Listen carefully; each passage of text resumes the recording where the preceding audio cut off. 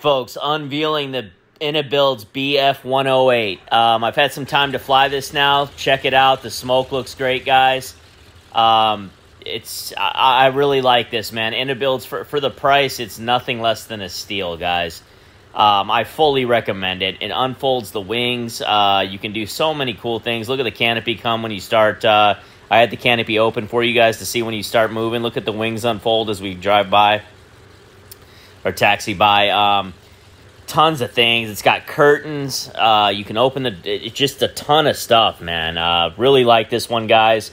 You cannot beat the bargain of IniBuilds. Uh, everything I've got from them is great, and it's at the best prices. So I'm gonna rate this plane. Um, I would say this this guy's got to be a 4.4 again to 4.5, which is an outstanding rating in my opinion. Um, it's just it's just a really fun plane, guys. It is rather slow, but that's okay.